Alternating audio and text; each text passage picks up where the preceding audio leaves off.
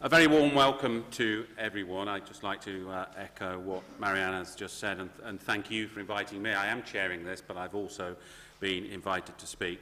Uh, and I knew that Jamal and Marianne were very clever, but I hadn't realised that they could organise the weather quite as well as this, so I'm, I am well impressed. Um, you will see from the schedule for this afternoon that you have two very stimulating uh, talks, lectures to open up the three-day event. And um, I'll start by um, inviting our first speaker uh, in a moment, uh, Professor Fiona Kumari Campbell, who I've only just met myself for the first time, so it is, it's lovely to meet you, Fiona, having read your work. Fiona is Associate Professor and Deputy Head of School um, at the Griffith Law School in Australia, so she's made a heck of a journey to be here.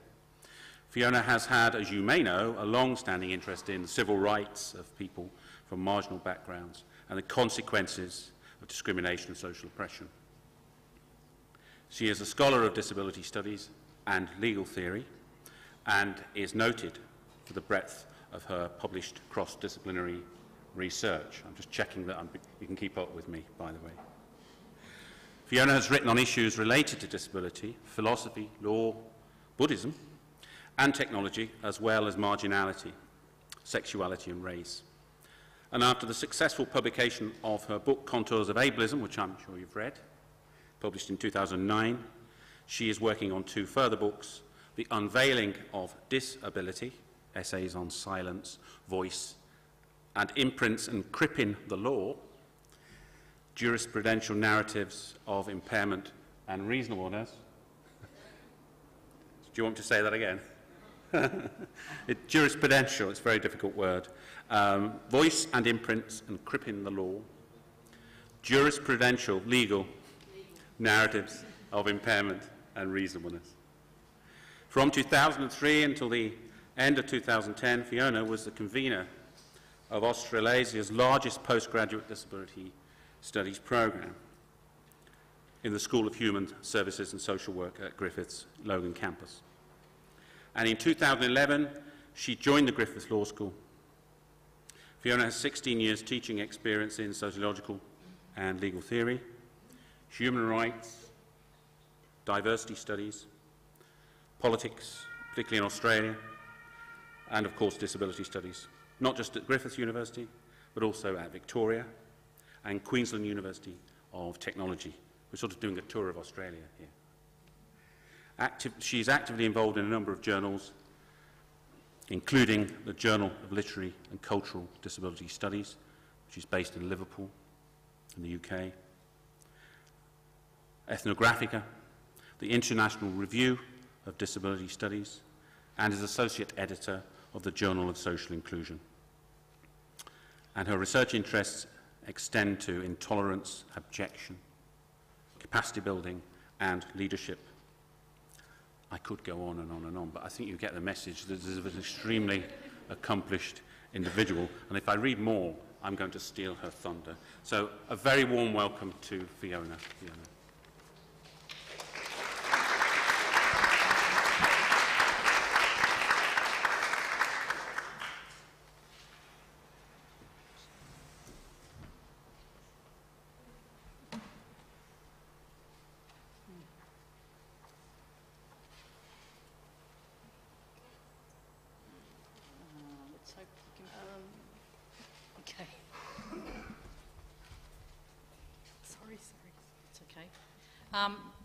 Wait for that to turn on and say it's, it's absolutely wonderful to be here and um, I've just come from our winter and it's, uh, it's really, really hot here. so uh, it's, it's, it's absolutely wonderful to be here and it's really great to be at uh, my first conference that's specifically looking at the theme of ableism and racism and I think that's a, a good sign of the times. I've reviewed um, literature over the last decade and seen, certainly ableism um, and racism and the conversations between the two is, um, is catching. But uh, look, thank you again. Um, I should warn you that uh, this is a long haul of a paper and it's a fairly dense paper. It's divided into two parts. Uh, um, the first part is densely theoretical. Um, there's always dangers in um, uh, presenting theoretical material to an unknown audience. I must say there's dangers even presenting it to myself because I'll often read it and think, did I write that? What does that mean? so, um, but um, the good news is that there, there, will be a PowerPoint available from the conference organisers and a draft paper. Um, I was saying to the organisers earlier that uh, some of the theoretical work around ableism, um, whilst I've been working on it for several years, has um, is, is uh, the second part of it is in the process of being developed, and I've had worked on it specifically for this conference. So there'll be some um, extensions in this area, and I think uh, that's because this conference obviously is interested in conceptual frameworks and, and methodology. So um, uh, it was a useful opportunity to present this. So bear with me. Um, I'm obviously there are some um, some heavy, um, long, drawn-out words. You have to deal with my Australian accent as well, and obviously issues around English. Um, so we'll just see how we go. And um, so I'm dividing the paper in two parts. I've got um, Naluka Gunawardena here next to me helping with the timing. Um, so let's go through. So the first thing, um, so we'll just go next. So, um, so this keynote really uh, is bringing together uh, over a decade of work in developing the concept of ableism um, and its theoretical application, but also what we mean by the word ableism. I mean, it's being used in all sorts of ways, um, and I guess if you did a Google search, it would probably pop up fairly regularly. But I think um, um sometimes I think it, it, it, runs the risk of being used in a very jingoistic way, like you know, like racism or, or sexism, without people thinking about what it means. Um, my work draws upon a range of um, uh, theoretical approaches, and I like with all of us, the knowledge doesn't drop from the sky. We we read and sift through material. And um, uh, actor network theory, some of you may be familiar with that, the work of John Laws and Bruno Latour, um, Martin Heidegger, um, Ervin Laszlo, systems theory, and also the Buddhist theory of um, dependent origination um, also influences my work here today. So uh, it's fairly broad sweep. Um, I'm extending my theoretical work developed in um, 2009 in Contours of Ableism, particularly around the concept of relationality, um, causality and progressive change and the, and the nature of social exclusion.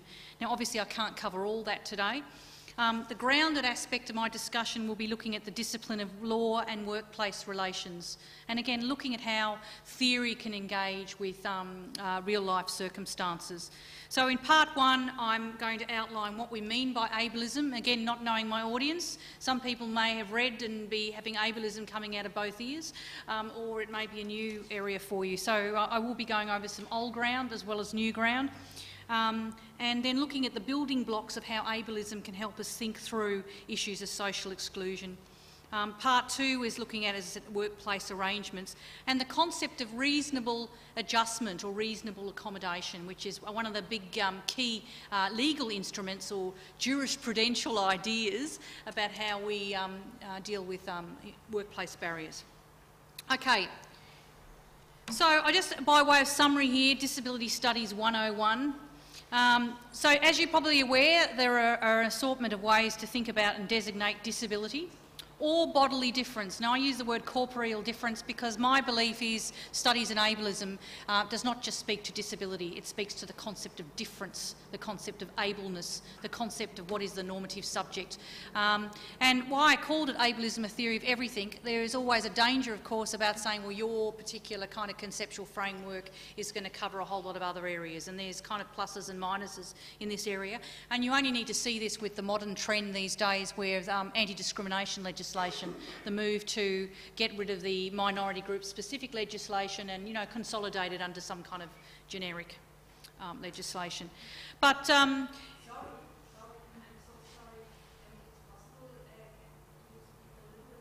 I can. I can. No, you don't need to apologise. Again, I get excited, I speak fast. So, okay and I'm getting excited over something I probably shouldn't be getting excited about at this stage. So the first model you would be aware of is the biomedical model. I'm not spending a lot of time on it. It uh, sees the body as a machine, generally, uh, a broken machine that potentially can be fixed or at least transformed. Um, so you've probably heard of cosmetic um, surgery. There is now the new area of cosmetic neurology. So we can all live in hope for this, uh, this area. To the more, the second wave, I guess, is the social model of disability, and again, most of you would be familiar with that.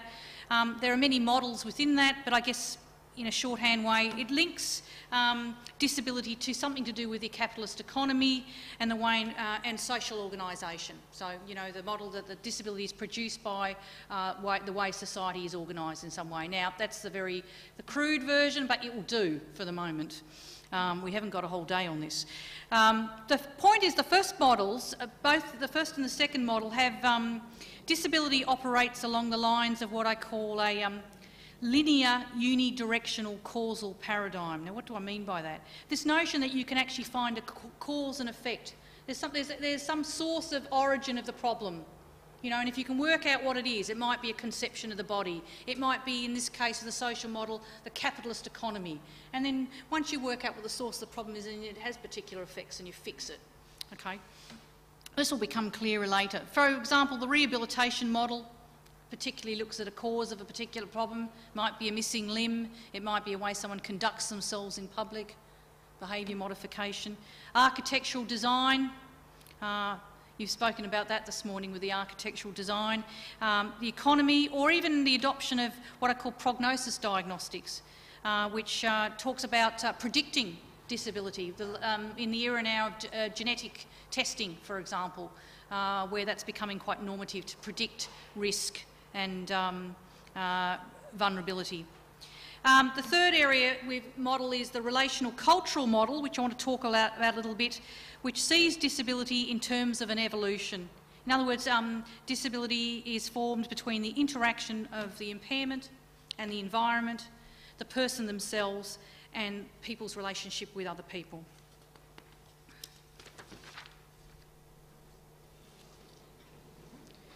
So the relational model, for example, and again, for people who know about this, is it's drawn, I've put drawn from the French view, but I must say the French view of disability, but uh, this model also came out of um, a number of Scandinavian countries as well. And it understands uh, the formation of disability as, as relational and intersubjective. So it's, not, it's also about how one, uh, one's own sense of self, how one's own subjectivity is shaped and formed by relationships with other people and one's own relationship with oneself as well. I think there's an internal dynamic. And I love this quote here. Um, I've translated it, but it's from the French. Disability as a confrontation between, and I love the word confrontation because it really has that movement of struggle between the ability of a person and situations she encounters in life, macro situations such as work or schooling, or micro situations such as uh, cutting meat or using the keyboard um, of a computer, or I should say the key to the toilet door. Um, the disabling situations are not only structural and material, they are also um, especially cultural as well. I mean, I must say my um, coming here was always an interesting um, experience of dealing with airlines who, um, who, who, take your chair away from you and then kind of wonder what to do next, you know, so different kind of cultural practices about whether you should help yourself. Uh, this perspective is really important, the, um, the uh, relational cultural perspective, because it doesn't just focus on abilities and limitations, it does look at um, the shaping and forming of the person in society um, and the person's own perception of their difference. Okay. Um, the third configuration, so the cultural model, is reflected in the preamble of the Convention of the Rights of Disabled Persons. And I always get excited when I teach this to my law students because I reckon this is one of the most subversive conventions around, if it was let, let air to breathe into it. And what I love about this um, um, convention is the preamble, and there's debates among lawyers. Have we got any lawyers in the room? Um, there's debates about um, lawyers whether, in fact, a preamble forms the active part of the law. But this preamble is really juicy. It's really sneaky because if you've read the convention, the convention, look, it's great, but it's fairly it's the usual kind of thing, you know. But in this convention is this really subversive definition. And I thought, how did this get in? I mean, the wrangling know, you see what goes on in the UN, the wrangling that went on to get this convention right. Let's have a look at it. It's there, and it often barely gets a mention in the literature. So it's the preamble. It says disability is an evolving concept. How extraordinary. That disability results from the interaction between persons with impairments and attitudinal and environmental barriers that hidden, hidden to their full and effective participation in society on an equal basis with others.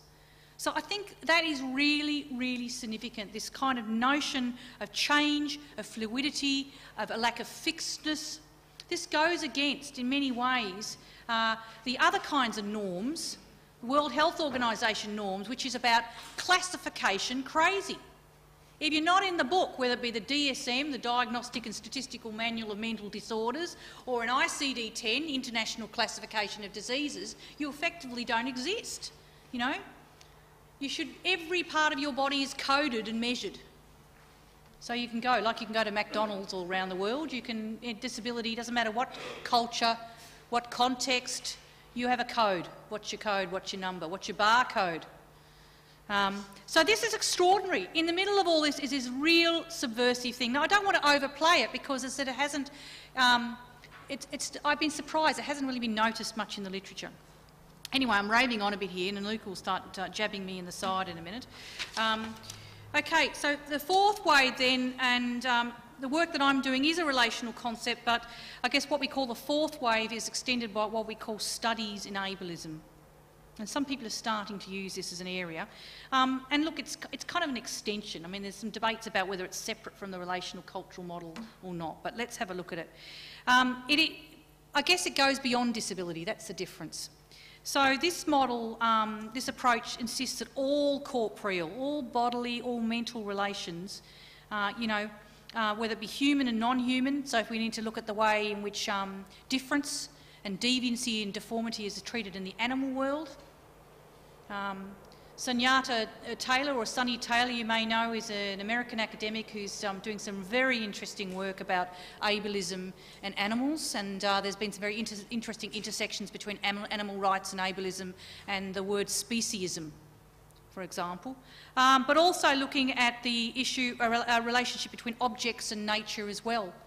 Um, design, how we design technologies, um, and actually, uh, uh, Studies in Ableism says that all these aspects, whether they're human, non-human, animate or inanimate objects, are produced within a matrix of causal relations. Now, the words are intentional, so this kind of notion of this circulating network of change, which makes it all the more difficult.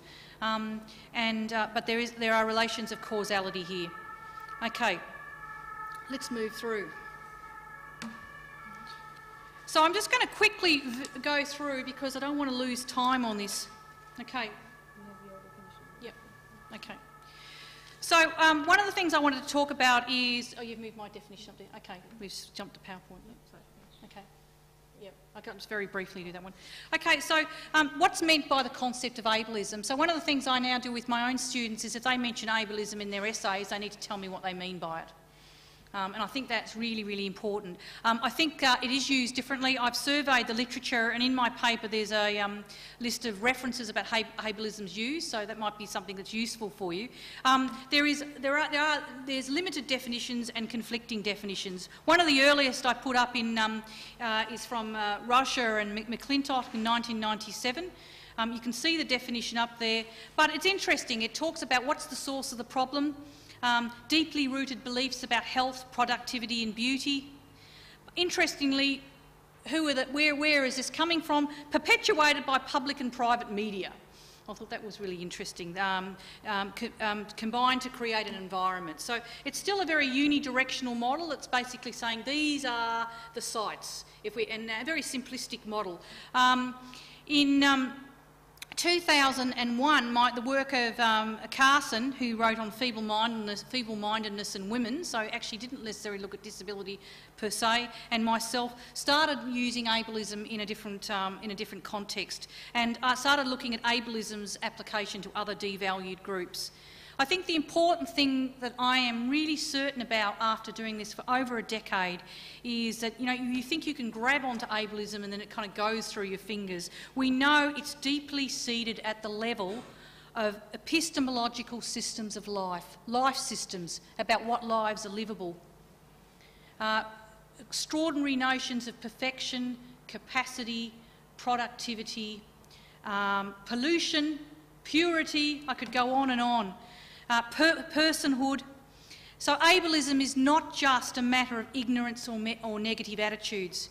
I don't know whether you have this in Germany, but in Australia we have these happy days um, once a year, disability days, and uh, I call them happy days. And um, this kind of notion, if we'd be nice to disabled people that day, and if people keep smiling to disabled people, everything will kind of change. Uh, we also have another one called Harmony Day, which is our intercultural day. That's the one day that we have, um, I think we have food from different countries. That's our intercultural day.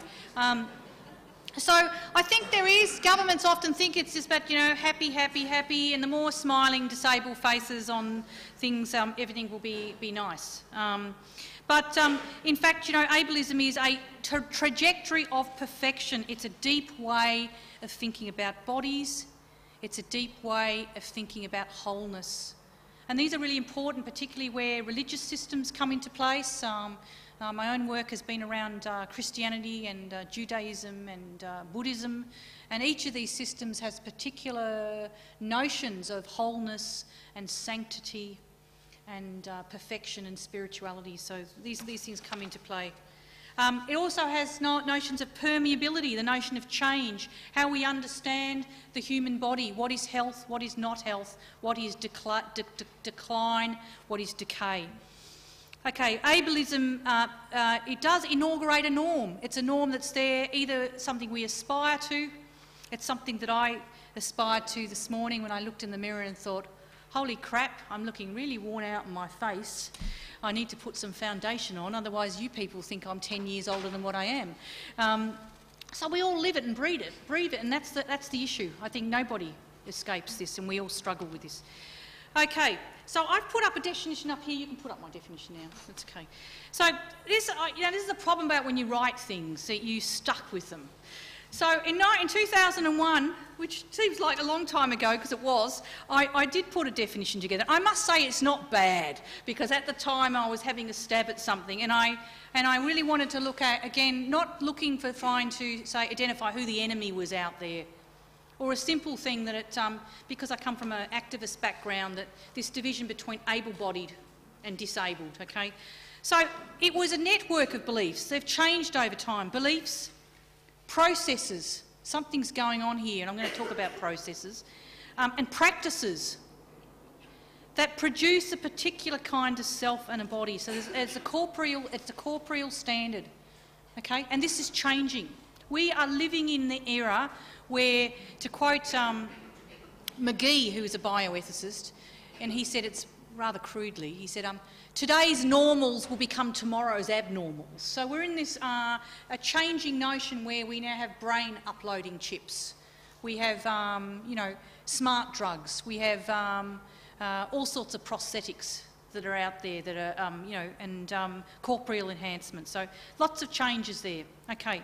Um, so projected as the perfect species typical. What does it mean to be species typical? One thing we know from anthropology is cross-culture.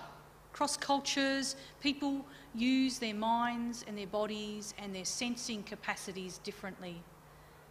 And uh, it raises some interesting issues about the colonisation, the cultural colonisation of the species typical body. Okay, so this is another area. And disability, I said, is then cast off as a diminished state of being human. I noticed I didn't put animals in there. And then I think uh, actually, when I was thinking about it at the time, we know that scientific racism has, as, as um, in history has performed this role. We know that Aristotle talked about women as being the original mutilated male. Um, uh, you know, Today I wanted to add, I, so I thought, well, what do I need to add to this definition? Um, and what I, I, just wanted to be more firm about this, that, the, that, ab, that, there is an ableist notion of the body, and the body is immutable. In other words, you can, you can spot the disabled body, you can map it.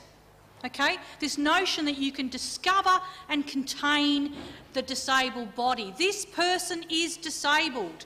And um, if you haven't read it already, one of the really good books, I don't know if it's in German, but it's in English, it's old, by Kutchins and Kirk. It's called the DSM Bible on the Diagnostic and Statistical Manual of Mental Disorder. It says, you know, since that manual was in, it went from being 50 pages to 500 pages. What the hell is going on? So we've got this kind of mapping, mapping, mapping stuff happening. See, I'm sorry I'm getting excited again. Um, so it's immutable. Also, this notion of permanent. that it doesn't change, that this, uh, and laden, um, and, and, and this no, there's this qualities of perfection or enhancement imperative. So if this notion that we should be aiming towards in, um, perfection, uh, if not in this life, maybe the next life. Um, and towards this notion of improvability, and you find this in the developmental model that looked nice and in the 1980s when I was in the disability field, that was very radical because we went from the view that disabled people couldn't change.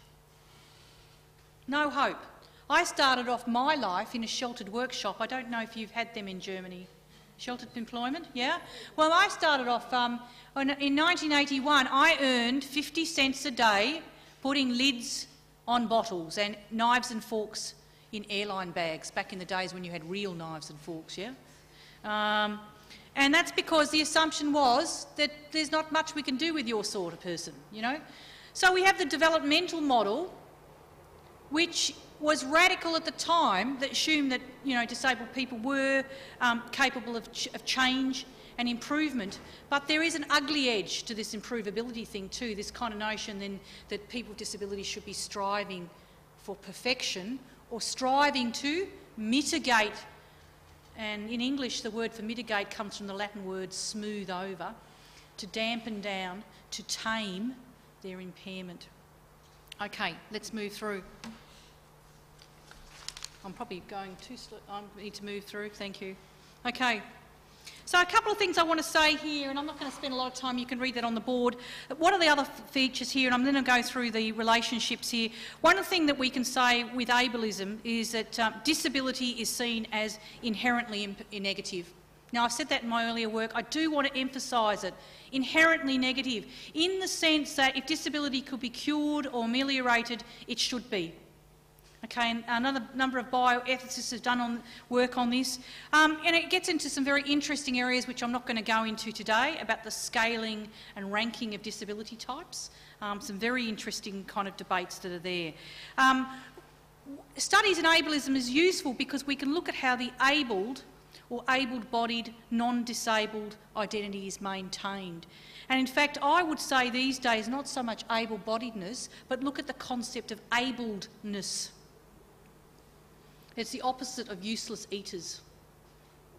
Okay, so the notion of being abled um, and unencumbered, I'll come back to that later. What, and what does this mean for citizenship? Because this also, I think, has a lot to contribute to issues around immigration and racism and capacity and contribution. Okay, I'm going to uh, move now to the next slide there, actually. We're just going to skip through here. I just wanted to put this up. Isn't this scary? But it's exciting. This is a really exciting list. Now, I, I just wanted to pull out the, this is, I had to do a, um, a recent article for social work students, um, actually using ableism for non-discrimination practice. So that was the first sign. It wasn't a disability paper. And I was interested to know all the areas that ableism, and I didn't pick up everything, but um, actually my work, for, for some reason, and you may know yourself because I couldn't read it, my work has been quoted in German computer studies. Go figure. No idea. Nothing to do with disability has been picked up in German computer studies. Um, political theory, violence, nanotechnology and transhumanism, as you can see, a range of areas. Whiteness and racism studies, it's now being picked up as in an area. Sport, of course, law. Okay, let's move through. Okay. Um, so part of the thing, what I want to look at here, now which we've got to slide nine, how are we going in time? How far behind? Okay, okay. So part of what I'm looking at here is, well, what can um, uh, ableism help us um, sort through? What are the kinds of questions? How can it help us look at policy interventions and the notion of risk? Um, and also looking at what, the, what does the state of disability and non-disability denote? And I'm going to move through to this building blocks here. Now this is going to be hard, so hold your breath a little bit. We will get through this. Okay, so one of the things when I was thinking about ableism, what, what do we mean by it? There's two elements, okay? One is the element of, actually go to the next slide there, mm -hmm. Luca. Okay, the first element is the concept of the normal or the normative, or Rosemarie Garland Thomson uses the word normate. I don't know if it does anything for me, but it's there. Okay, the idea of the normal citizen. Now, the interesting thing about this is able-bodiedness is always relational. There's not, it, it's actually, you can work out who is disabled, but it's very hard to work out what able-bodiedness means. It always has to be looked into what is its opposite. And in fact, one thing that we can say about ableist relations is they're based on an ontology of negation. You know, what, what, are, what are you not? What are you? it's more than differentiation. It's a, it's a negation. It's a turning away. It's a disavowal. Ableism is married to a sense of permanency of the ideal human form. In other words, humans stay in that perpetual fountain of youth. And we know what those issues there to do with elder abuse, etc. Um, the notion of the norm we know is constantly sliding, and I've mentioned about the growing pool of potentially abnormal persons. Maybe you're an abnormal person. If you're not, don't get sit there too secure. Um, with limited resources, if you cannot improve yourself, you may lapse into deficiency. The other area is a constitutional divide. Now, this is the bit that gets a bit tricky.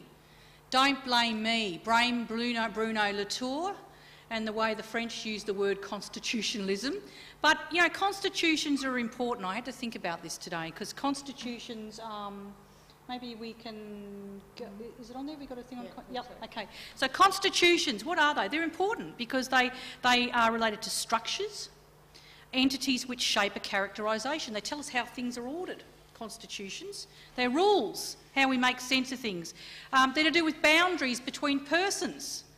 Boundaries between children, adults. What age do you become an aged person in Germany? Could someone tell me? 80. 80. What about aged? 80. 80. 80. Old. Well, even that is interesting. So age, you're talking about legal age, yeah, that's okay. So, what, so when you become an old folk, I think seniors is the politically correct term. 65. Yes, there's big pushes there. And it's interesting. So in some programs it's 55, uh, one of my students recently told me uh, 30. and you know what I said to him? I said, where is your shovel, your spade, your spade? He said to me, why? I said, start digging your grave. but um, so, so boundaries between persons and things, um, who has competency and actions, how we understand actions, and the ways these um, elements assemble. Constitutions are important. They establish a roadmap, a terrain, the ground rules for governance, okay, how governments make sense of these processes and how we understand things to be right, right relationships. This is how society should be ordered. Okay, um, so there's a constitutional divide between the normal and the pathological. And at the level of ontology, our very sense of beingness, materiality and even sentiency, whether someone is human or not human. And these are huge bioethical debates. Let's move on to the next thing. Okay. Yeah, what slide is that? 15? Okay, 14. Okay. So constitutions require people to, um, to um, identify with a category. Can I say to you, if you haven't got a diagnostic category, what I call a numerative passport, you're in deep shit. You have to have a diagnosis. Without a diagnosis, you can't get access to services. You are required when you tick any box to identify with a category. Are you disabled or not? No, I'm not disabled. I'm ill or depressed. I'm able-bodied. These days, racial profiling, religious profiling. I recently went back to my home country, Sri Lanka, to get access to a temple, and um, they looked at me, and the, this, the, police officers looked at me and kind of said, well, she doesn't look Sri Lankan. And then the next test was, could I speak the language? And then they, and then eventually, actually, this is quite a funny story. Eventually, um, there was an accessible entrance, but they said I couldn't go into it because they'd been, uh, they were worried about terrorism. And I thought, hmm, white terrorists in wheelchairs, new look. So, you know, so profiling happens. Maybe that is an issue. Maybe that's the new form of modern um, technology of terrorism. I don't know. But um, anyway, it's, it's, uh, I'll leave it up to you to discuss. Um, Bruno Latour said, but however, you know, we know that these categories, these constitutional um, divides exist, but they have to remain separate, okay? So it, the point is, the way things work is we've got able and disabled. Um, the way this system works is any slippery areas where it's unclear about where people function, that's when they get into trouble, okay? Sometimes they're not even actually able to get disability coverage um, you know, or it throws people. Like I can get out of my wheelchair and that becomes a very interesting discussion about whether I've had a miraculous uh, religious experience or otherwise. Okay, let's move through.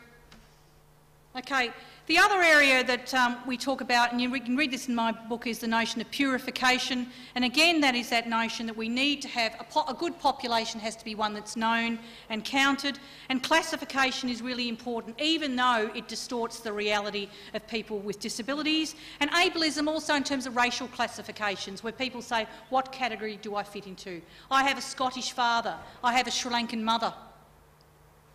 I'm Buddhist. I'm from a Jewish background. I was born in Australia. What the hell? People say you're a working, walking diversity model. I say I'm not walking. Sorry. But you know, these kind of categories are slippery categories of what are you, where do you fit. Um, we know, in fact, that most people actually move at different stages in their lives um, through different kinds of categories. Um, I'm also a gay person, and in terms of universal issues around marriage, um, my marriage in Canada was recognised. When I go back home, it's not. So I go through different stages of being married in one jurisdiction, not married in another, being de facto in another jurisdiction. So these kind of um, purification models are important. Okay, I'm moving through. So here's just a little model up here. You can study it. Sometimes models work for people. You can see you've got these zones here of purification. Disability anomaly. You can put race there. You can put women. You can put um, displaced persons, this, you know, all sorts of things, and then you've got the real people, able-bodied, able mentality, and you've got this other, other net, hybrid network, which is actually most of us in this kind of more free-floating category. Let's move through. Okay, stage two. Now let's move through to stage two. Okay, how are we going? Have I caught up?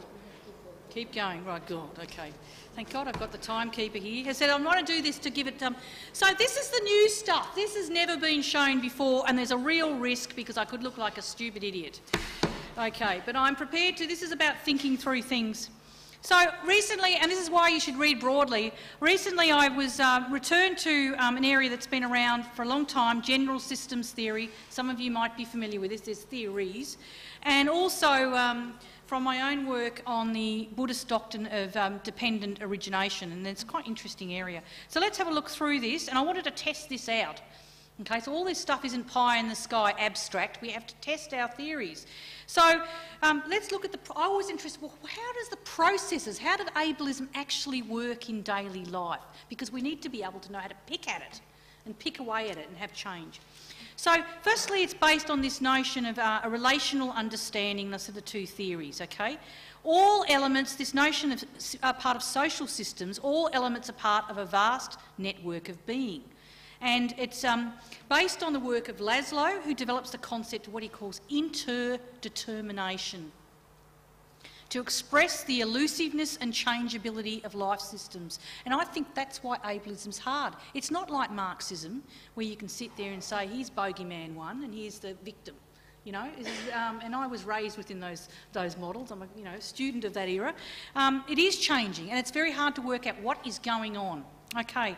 According to the universe here is described as an interdetermined network of mutually qualifying causes and effects where each causal action is reciprocally transmogrified by the effects it produces. You see, causes and effects.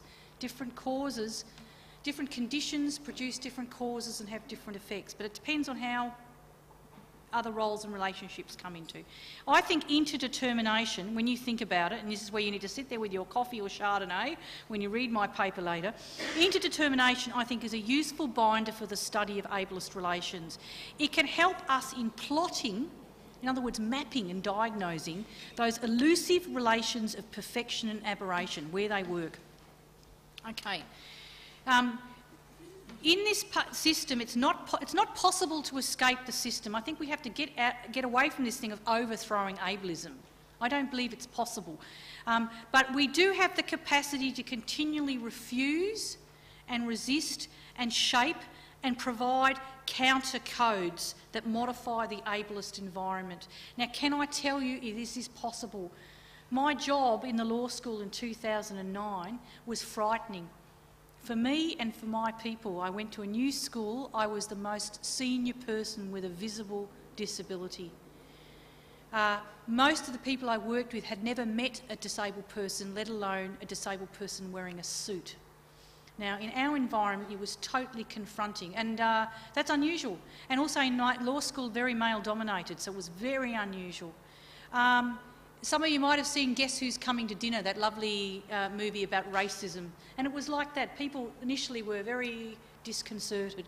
Over that six months period of people initially literally not knowing what to say or do, the, the codes can change and um, disability in terms of awareness generally um, has reshaped the environment.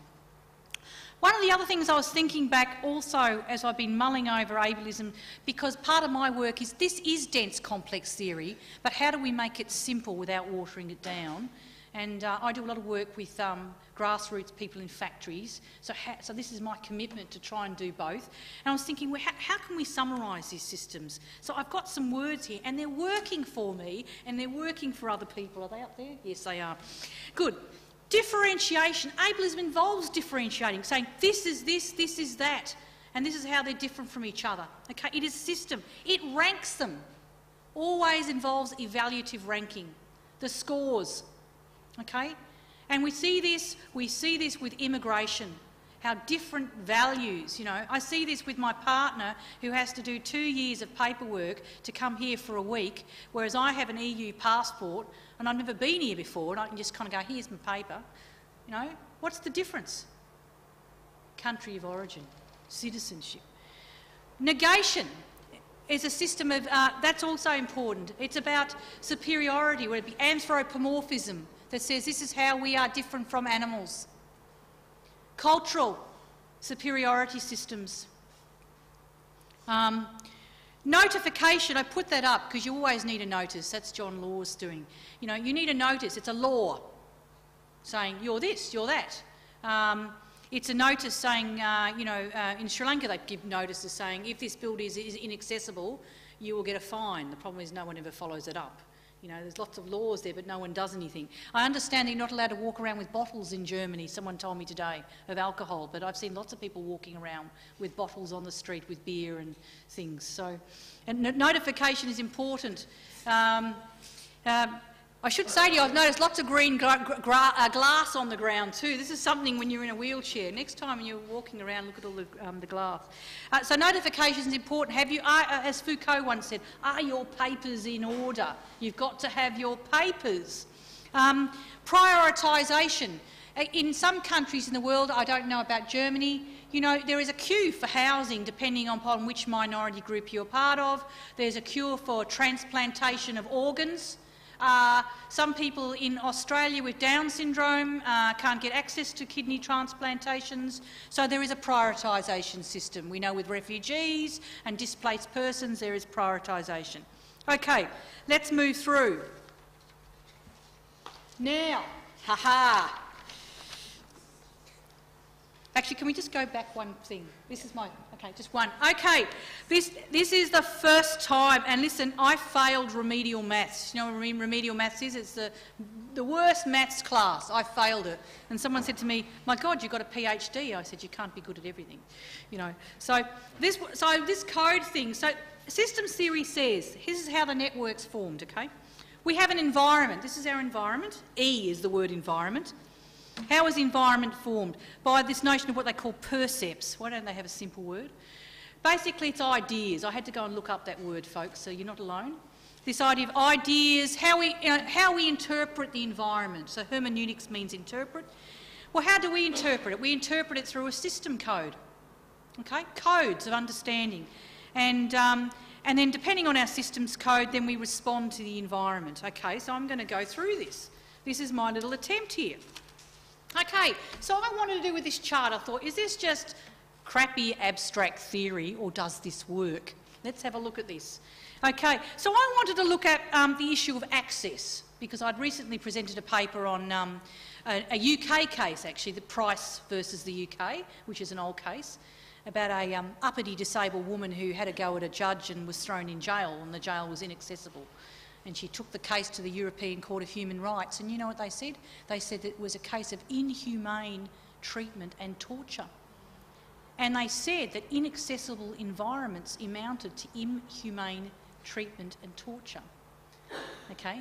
And being the wanky social theorist I am, I thought, oh, that's a form of onto-violence. It's ontological violence. So I was looking interested in this issue of access, that exclusion is a form of violence. So access is not just a disability word. Let's have a look at it. So I wanted to look at the question of access. So the first question in the environment is, is there discrimination and is it unlawful? I mean, what do we mean by access? It's an interesting word. So I've looked at, so I looked at P. So it's very small there. It says problematisation of inaccessibility. What do we mean by inaccessibility? It could be the built environment. Who is, who is it for? I mean, in England, I understand that women couldn't go to medical school for centuries because apparently there weren't enough toilets, or there weren't women's toilets. That was the reason why women were excluded from medical school. You know, um, so those kinds of issues come up. Attitudinal issues, uh, judicial, um, judicial issues, and, and how we think through things. So um, even the very thought about is, is accessibility a problem? What is access? What does it mean? Okay. What do we really mean by fully accessible environments? I mean, even in terms of the language issues here, we should be having multiple translations, potentially, if that's important. Uh, there could be a range of things kind of happening. Uh, deck chairs, nice comfortable tech chairs with massage or something. I don't know. I mean, there's a whole range of things there. We decode the question of access here. So here's the decoder. How do we make sense? Well, here's those words again, differentiation. Who's important? Well, I've been told it's pointless making buildings accessible because no disabled people use them. You were telling me earlier that it was in Finland that there, there's an, um, a move to only make first floor floor of uh, buildings accessible. That's interesting. Does that mean that disabled people don't jump off buildings, or um, uh, we don't use second floors, or we don't need, we haven't got the money to get the, the penthouse views? What does it mean? Um, so this kind of differentiation about you know who's in the list. Uh, we can do this with immigration as well, the ranking, the, the, the different visa systems to rank value of contributions. Uh, negation notification, I've already been through that. I've also put this kind of subtle area, what I call modalities of discernment. What is seen? What do we notice? What do we don't notice? How many of you here, and I'm assuming most of you are German, have noticed, certainly in the inner city areas, that nearly all your pavements have tiny pieces of green glass? Is this, have you noticed this? Has anyone noticed this? It's everywhere. And I realise that green must have been, is that the colour of beer bottles? Because it's currently dark brown glass, but that's not as popular. but it is, it's very interesting. So this kind of, what is hidden? Do we notice often in our own environments what is hidden, what, uh, you know, just in terms of uh, um, cultural issues? Um, what is permissible? What is tolerated? Okay, you're looking down things here. Keep moving on.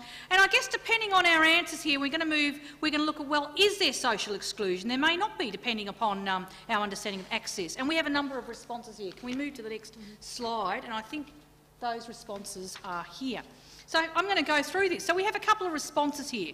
We can say, firstly, and I've got up there, okay, we might ask the question, I've already said, what is access? And, and these relate to our notions of uh, whether people are non-citizens, partial or full citizens, okay? Whether there's lawful or unlawful discrimination. So this works really well. Okay, and I've talked about the codes. Let's look at what our responses might be. So we're moving down to the bottom thing here. We might say there's no social exclusion. Or exclusion, or at least is arguable. Okay, so you think about apartheid, it was argued and justified, and there's no need for change because that's how the Bible said it was to be and that's how we do. And we might, I would be interested to know what the rationale is for the first floor finish uh, apartments. Um, we, no, there's no change except for affirming the status quo. In other words, everything's okay. That's how we are. That's how uh, our society works. That's our values. We may have a second response, which is a common one. Responses of, of ex exceptionality. We may allow for parallel approaches or differential access. So um, in Australia, for example, I come from a very, very conservative state and um, uh, sex work was illegal and uh, had been on the street for many years.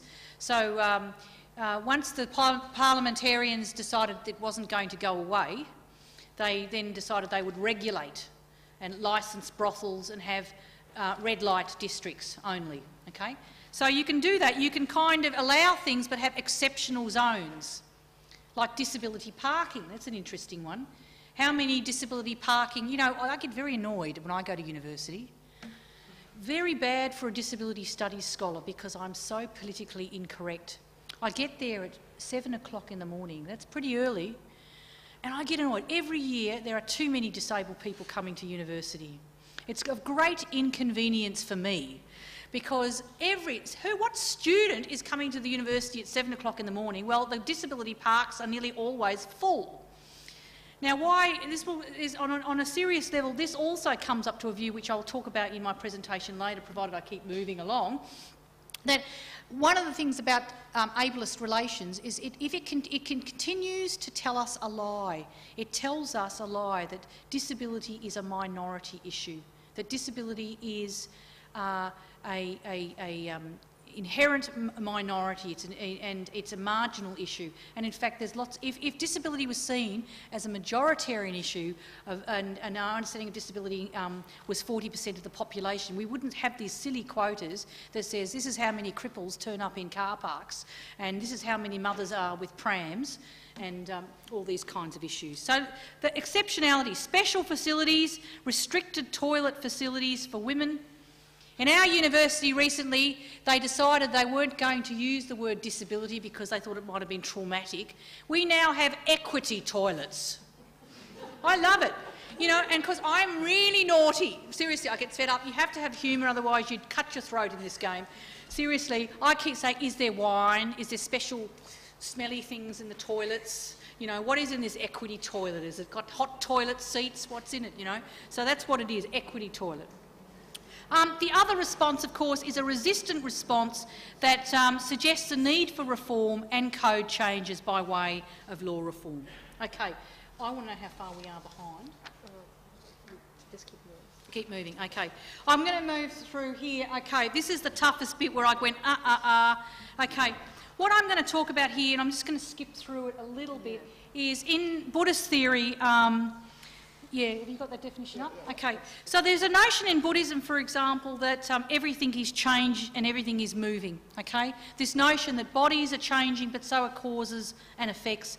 And I want to read this definition here, and it's useful for me in terms of looking at how we can look at the um, pinpointing the conditions of ableism and what conditions come into play that creates problems of exclusion. But let's look at this definition here. We're just going to move down to the bottom one. Um, and this is by Yin Shun. Um, it's not written for our community, but the belief is that everything mental and physical comes into being owing to certain conditions and disappears when the conditions disappear. So nothing is independent. Reality is viewed as a dynamically interdependent process.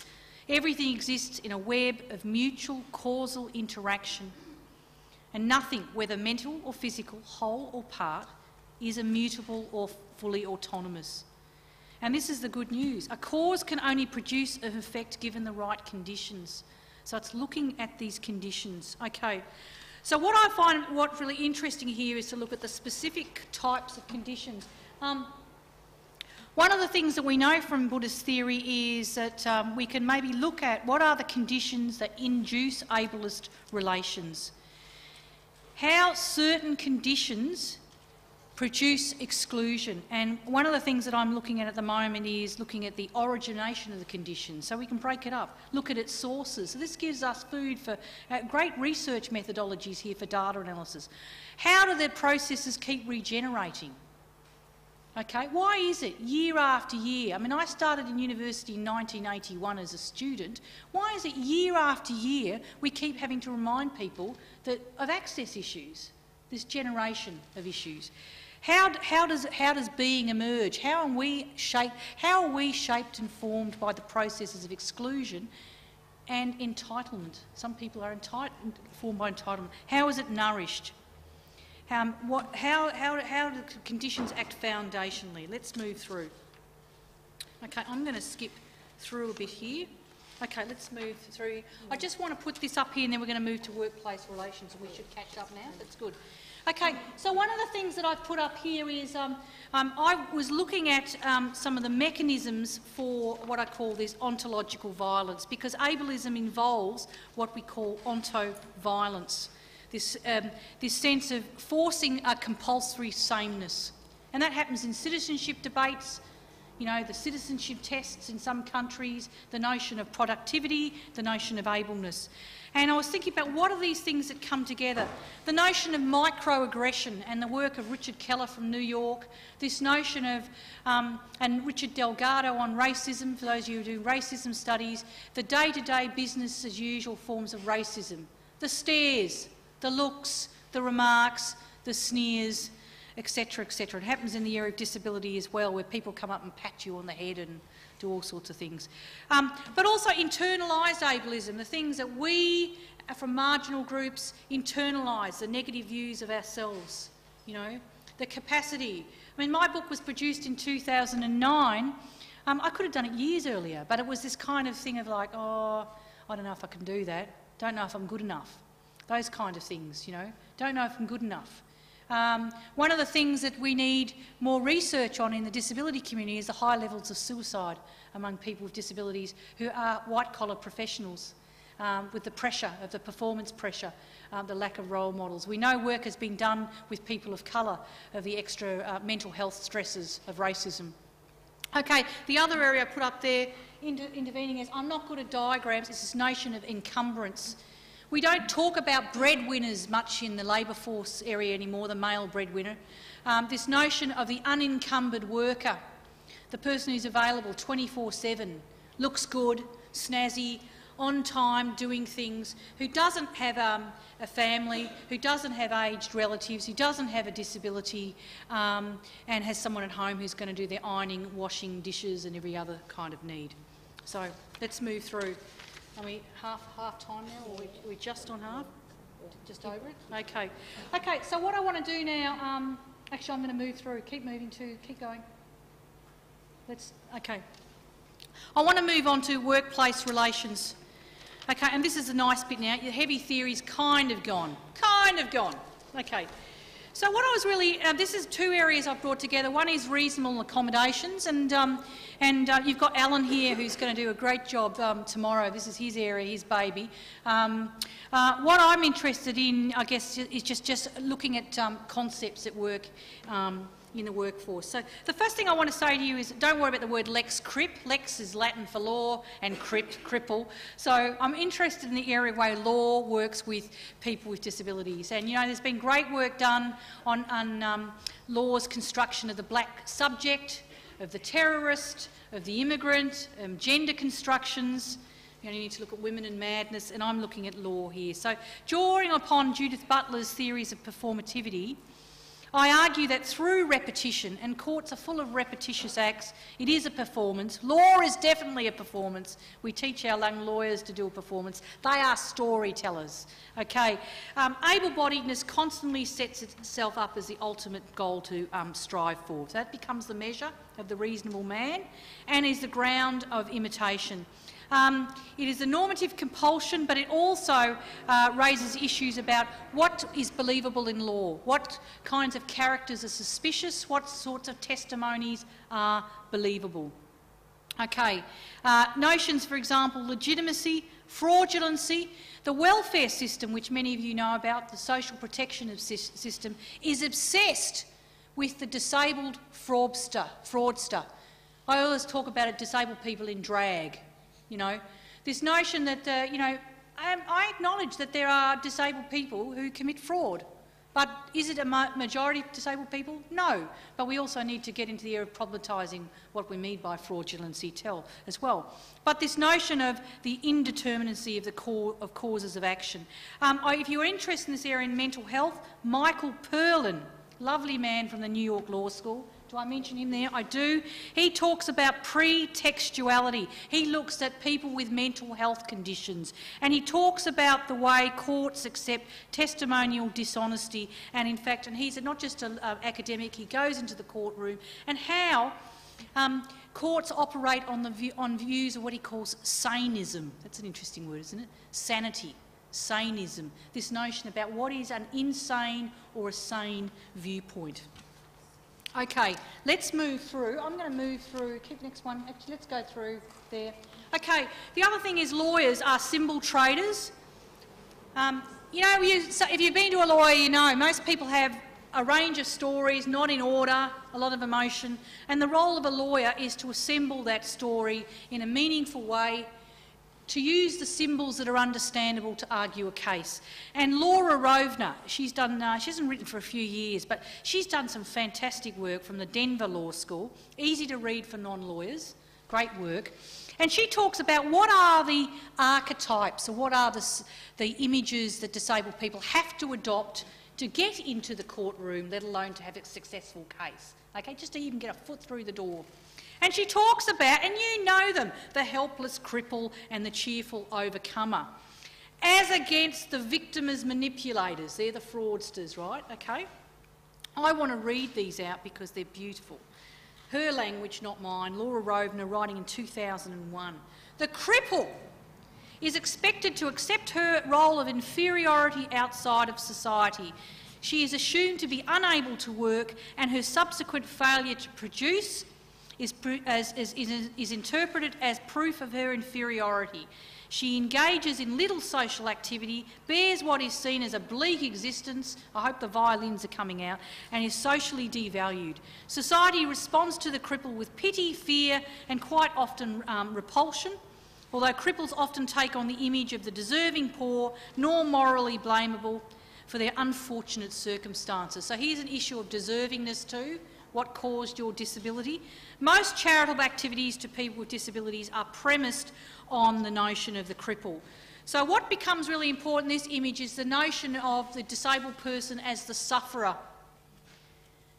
Now you can suffer discrimination and be pretty pissed off and mad and actually be treated unequally, but you may actually have your act together, or as I say my students rather colloquially, it's good for theorists to be colloquial. You may have your shit together about disability, but, eh, but you may not be sitting there like a doormat, like suffering all the time. But you have to have this, I am suffering, I am falling out of my tree, and um, emphasising this.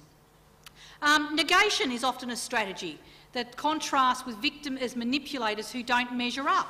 So we have a derelict class who are characterologically suspect, people who've had impairments caused through drug and alcohol abuse, HIV AIDS, guns, uh, you know, and racialised violence, possibly even neglect and poverty. So we have issues there where disabled people and their families, the relationship between poverty, uh, neglect and disability.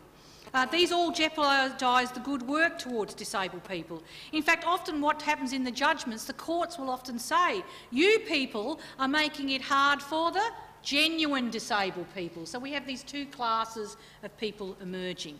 Okay. Um, interestingly, um, in, there's an alternative narrative that comes up here called the overcomer. I love it, and we're going to have an overcome here. I love the overcomer. The overcomer engages in a strategy of what's called disability disavow. What do I mean by that? She literally makes her disability disappear. I'm not disabled, I have needs. This association of disability irrelevance Okay? And she's a hero because she puts impairment back in place. And sometimes you'll find this in government strategies where they'll say, see the person, not the disability. You know? Um, it's interesting because it can backfire by saying, see the person, not the gender, like somehow this disembodied thing. You know, and you can understand where the intention comes from. It doesn't quite work at dividing people into compartments. The overcomer spends an inordinate amount of time going in circles, literally performing ableness. She is the super crip, not me, displacing her impairment and engaging, saying, I'm not like those other disabled people. Those of you who have disabilities, particularly mobility impairments, you might know it's an interesting issue where they sit all the disabled people together. It's like, ah, the class there. It's kind of an interesting thing. Sometimes you think it's great and you think, I don't want to sit next to these people. I've got nothing in common with these people. So this kind of thing. Let's look at Rovner again. I like it because the language is juicy and then we're getting through, we're getting fine. The overcomer seeks to minimise the visible symptoms of her disability and exhibits the proper attitude, smiling preferably. She learns to deny her disability and frequently disassociates herself from her own disability and other people's disabilities. And here's the ranking. Um, this might be evidenced by foregoing a wheelchair, even if using one would be more efficient. So as I said to you, I can actually stand up and walk, and it's very interesting, uh, some of the issues about legitimacy of doing that. Uh, maintaining a general, general wariness of being spotted with individuals with disabilities for fear of being associated with such inferior deviance. I don't blame her. Wolf Wolfensberger told us to do that. Some of you might remember normalisation, social role valorisation theory. His theory of the conservatism corollary talked about um, many stigmatised people associating with each other would actually magnify the disadvantage. I think he talked about uh, not associated with men wearing caftans, actually. I think it was some stranger's idea. The overcomer is often proud when people regard her as not really disabled. Society applauds her for not giving in to personal constraints, for conquering her handicap. Thus, society views her as inspirational, although she's still patronised, pitied and excluded. Okay, so because of these two approaches, the litigant, um, if she wishes to present another image of living impairment, say, such as a positive image, um, he, um, the law makes it impossible for those stories to be told. Okay, let's move. One of the things I talk about in this paper is um, is the issue of reasonable adjustment in the workplace or reasonable accommodations.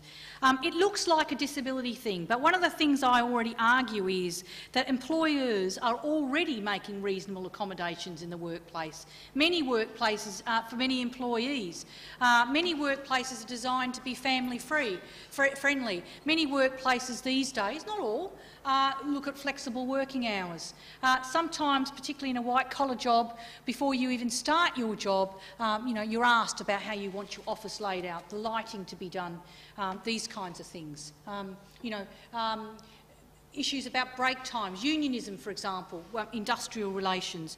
Um, so there are situations, for example, where we need to look at who is the benchmark employee.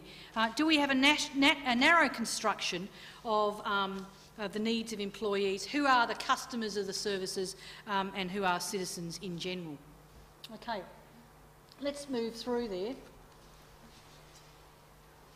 Um, the other aspect of law that comes up, and I just want to briefly talk about this because this has also come up in the literature and in legal cases, are this notion of disabled people whinging.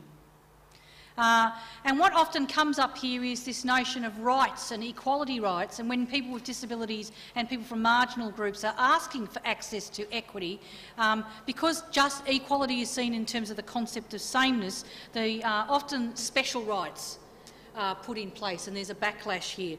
Um, and often what happens in the area of disability, for example, is this notion that disabled people are very self-preoccupied, this notion of disability and narcissism. Now, I was quite shocked about this. I don't come from a psychology background, but you find this come up in the court cases where um, there is this notion of stereotypes and uh, self-obsession.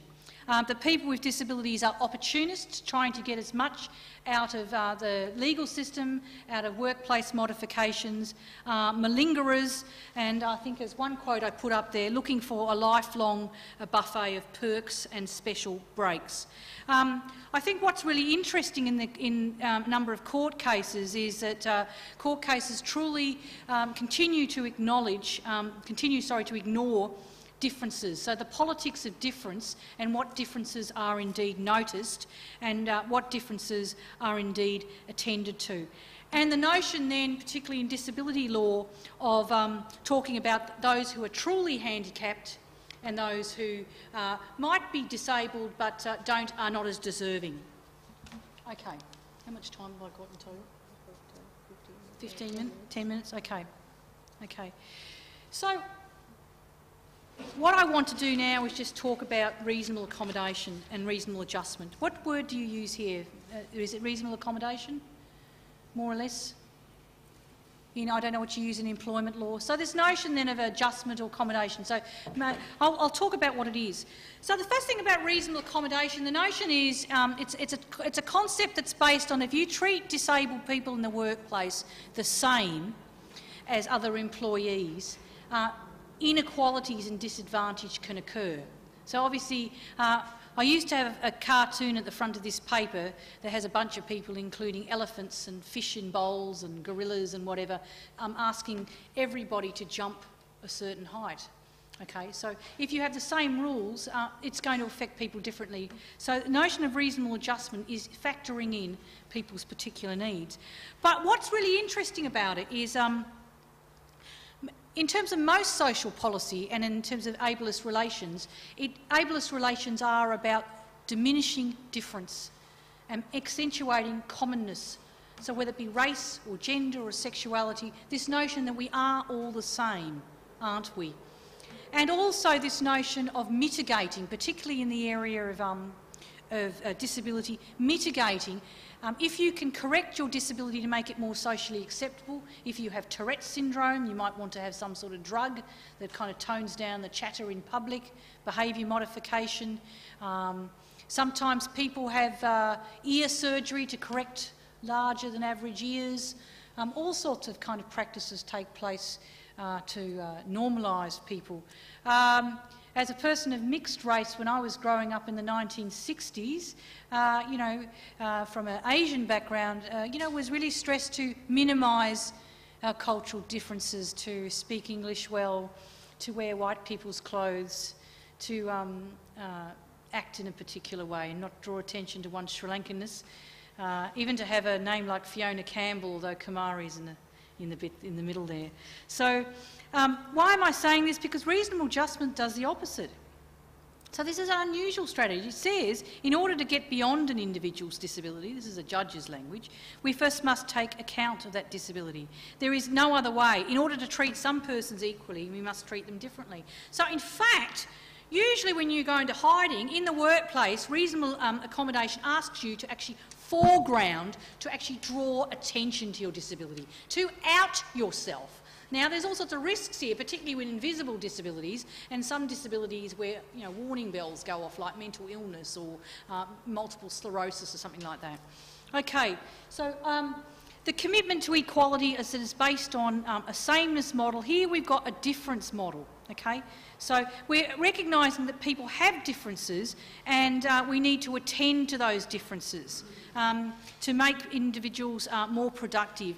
And this is interesting. So we have a flashpoint here. And what I'm interested in my research is to look at what goes on in the interaction. Here's our network again between the employer and the employee, management, but also fellow workers.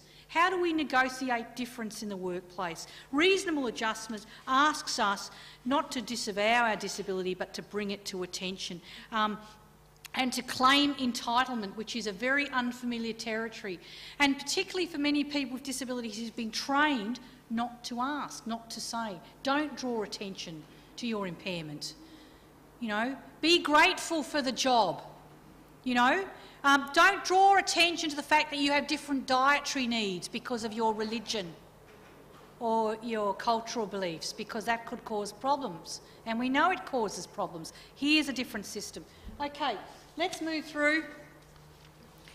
I wanted to, um, I've just put up the UN convention there. You can have a look at that. It's got what reasonable adjustment is. You know, it's, it's, it's, it's again, necessary and appropriate modification, but it's not an open-ended thing. Disproportionate undue burden. I mean, there's some very dodgy words there. Would it be, if you use this with any other group about disproportionate undue burden, where do we draw the lines? This is about the issue of, again, access and the systems codes about whether we are fully inclusive or not. Um, I note, and I'm not from the UK, uh, certainly with uh, the um, Equality Act, and again I can only look at it on paper, I know lots of different things happen in practice, there is an unusual model of reasonable accommodation because it talks about, in one section at least, what they call anticipated reasonable accommodation. So we don't wait for a person with difference, in this case a disabled person, to roll up and just look at their individual needs. I mean, that happens, but we look at what do we need to do to change our environment, at least on paper, uh, as inclusive as possible, to get people to think through these things uh, before people show up. Um, I look forward to Alan's uh, discussions maybe around whether that happens. It's an interesting concept because it actually it doesn't wait for the person with difference to come through the door.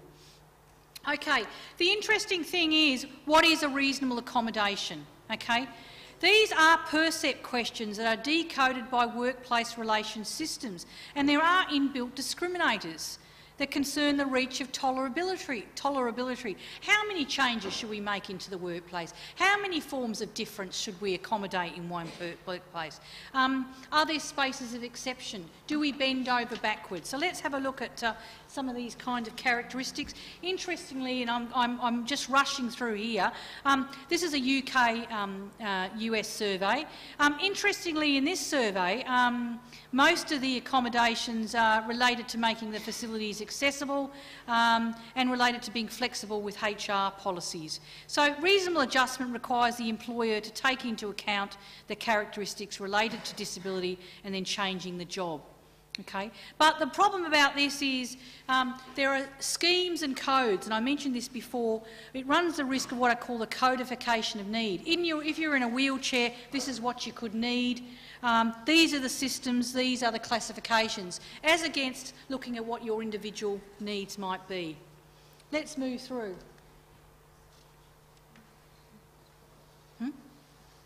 Okay. What's that page? Okay.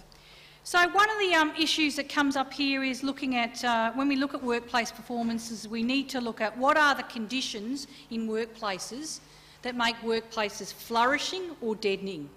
Okay? One of the, there has been research that looks at recruitment, not just recruitment to the workforce, but retention and career pathways. And again, Alan might talk about that a little bit further. Um, I've got a whole list up here, which we'll go to, about the kind of um, things that come up that make uh, cause issues. Inflexible work environments. So particularly for people with psychiatric um, illness and episodic illnesses. Lack of knowledge about how reasonable adjustment principles actually operate. And that's a real problem. In my workplace for staff, not so much for students, it's hard to know exactly what is meant by reasonable adjustment in the, in the, in the university, to have the policies. Um, and then you're kind of working out, well, maybe I should be grateful, what can I ask for, you know, what is permissible. I was told recently if they allocated a special car parking spot for me, um, that would mean that I was disadvantaging other staff employees. And I said, but it's different. I need to be close to the building. I'm in a senior management position. I have to go to four campuses in one day. So these kind of notions. Risk aversion, people often are fearful of losing pensions and benefits um, or being seen as being unproductive, so hiding illness and absenteeisms. Um, failure of disability support services, um, that's often a real issue in workplace relations where people need ongoing support. Disability vilification and harassment in the workplace by co-workers. Five minutes, have I got? Okay, um, that's okay. Um, the stress of integration. What uh, we know again from racism, racism studies, what what happens when you are the only person with a disability in that workplace? Where do you get your role models? Where do you get your sources of support and debriefing? And I must say, in my own case, I mean, I'm fairly savvy. I mean. In my first six months in the law school of constantly going to meetings where lack of access um, uh, being in charge of learning and teaching but not being able to go to the graduation because it was inaccessible, these kinds of issues. Um, it really is, you have what we call in English a bad hair day. It's very, very depressing and quite debilitating in many ways. Um, additional communication hurdles for culturally and linguistically diverse people and dis double discrimination for women with disabilities. Okay, and employees, employers, there are also issues about where they can get assistance. Um, in Australia, I don't know whether it's the case in Germany, about people with disabilities being seen as occupational health and safety burdens. In fact, what we've actually found in the Australian research is that uh, um, disabled people have one of the lowest rates of workplace injuries.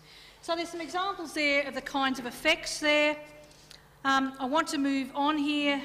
Okay, so system four, I mean, figure four really is about um, the fact this notion of what's driving workplace relationships, special measures and favours, notions of fairness. One thing we know from the research that's been done in the employment area is relationships with co-workers are absolutely uh, imperative in making um, uh, workplace safes vibrant. So here's the systems here, the causal relations.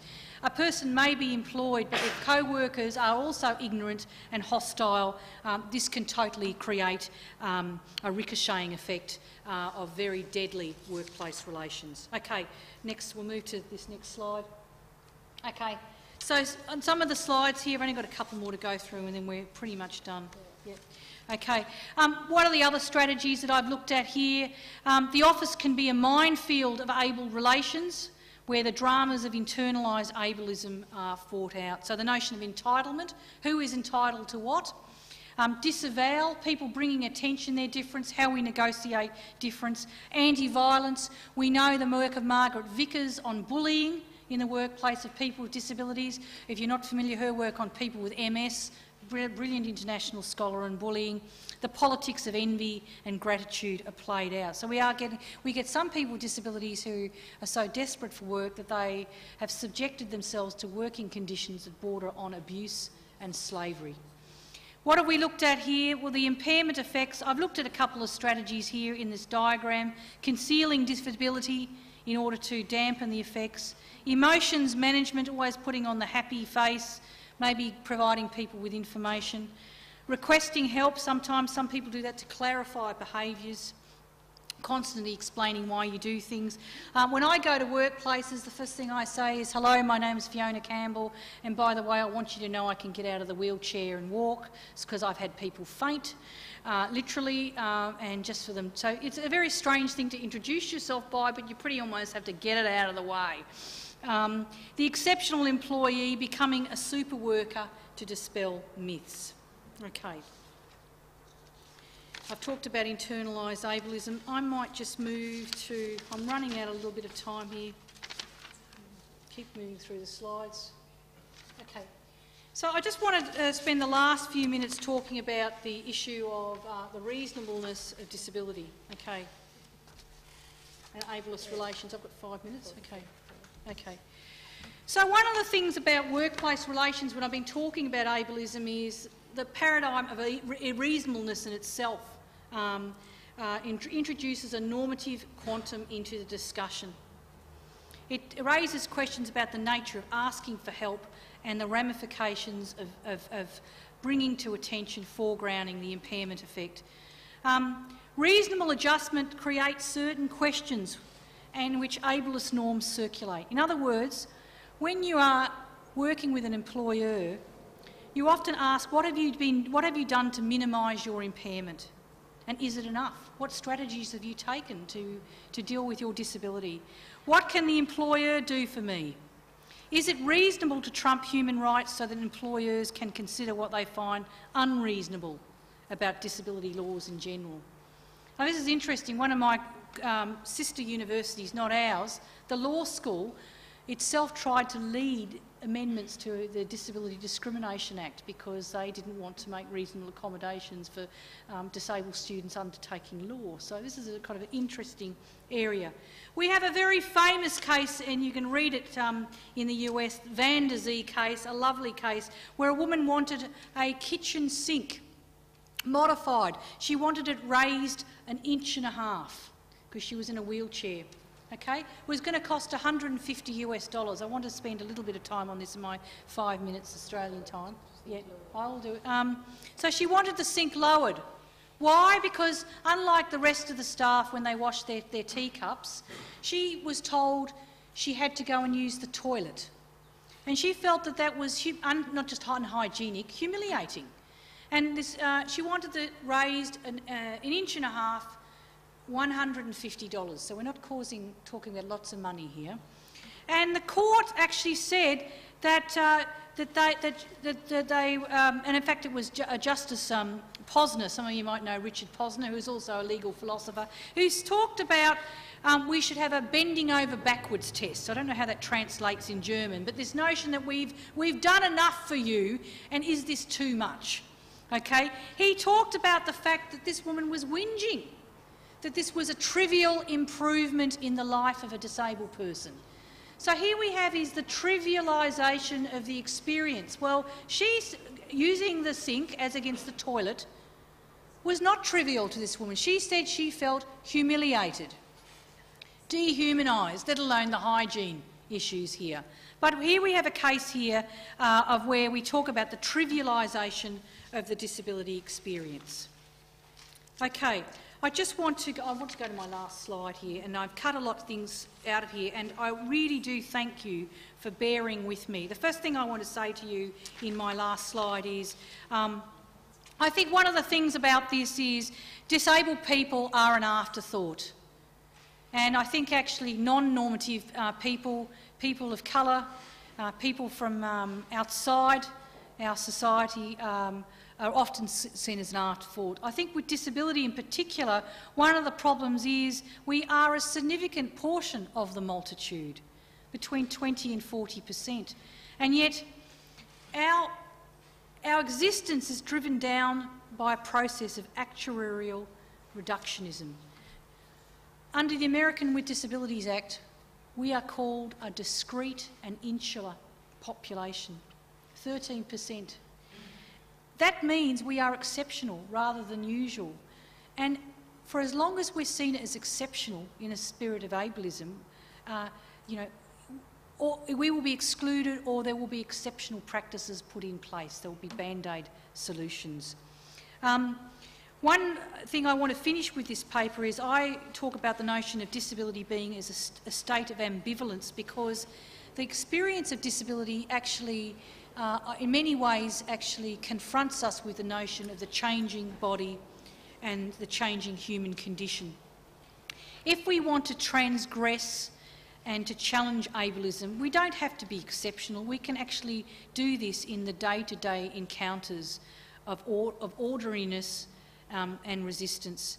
Um, what I've tried to do in this paper is to look at ableist relations, and I've skipped over huge bits like the hospitality, but to talk about ableist relations as a system of causal relations, and to make links for us as researchers, to make links in identifying the conditions and the problems and effects of ableism, and in which case we are then able to develop points in which we are able to intervene and hopefully transform some of the ableist systems codes and to rethink accessibility for all. Thank you.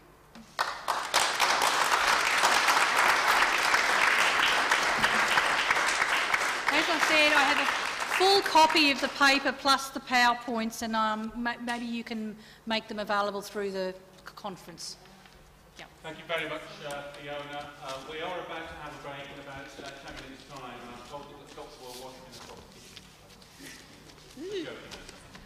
um, we've got 10 minutes roughly for questions. If you're really dehydrated, obviously, yeah. go and get a drink of water. But we've got about 10 minutes for questions and comments. And we've got a microphone here. I can give it to the one who wants to ask some questions.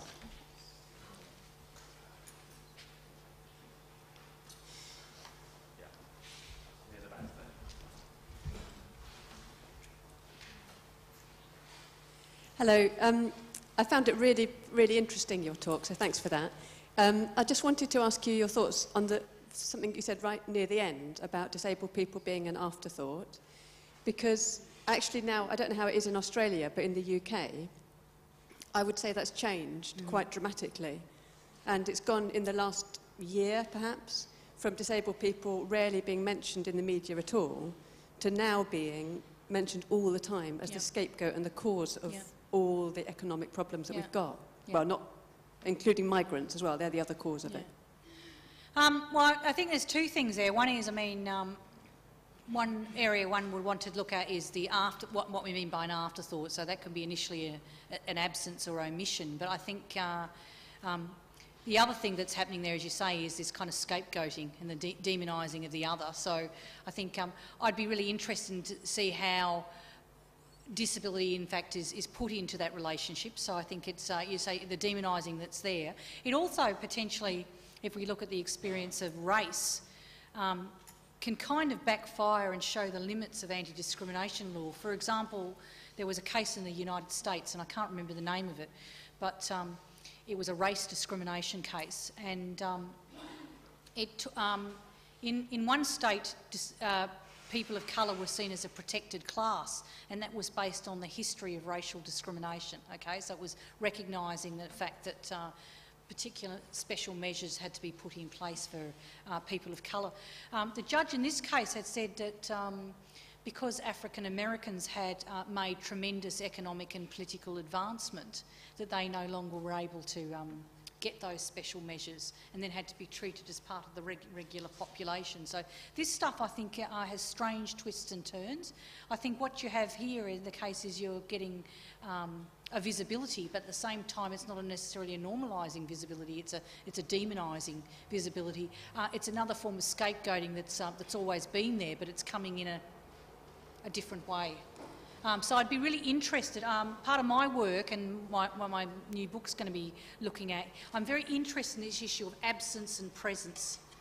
You know, because actually my view is, in fact, actually disabled people um, often aren't, in, aren't excluded in society. It's the issue of what is noticed, what is seen, and what is perceived. So um, yeah, I'd be really interested in having a conversation further with you about that.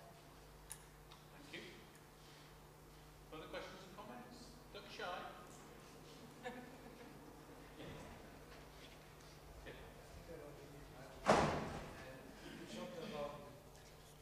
Um, you talked about ableism as a system, um, and how do you think about the relation between, for example, racism and ableism? It's like the racist ranking as a part of the system, ableism, or different Yeah. systems, or how do you get it together?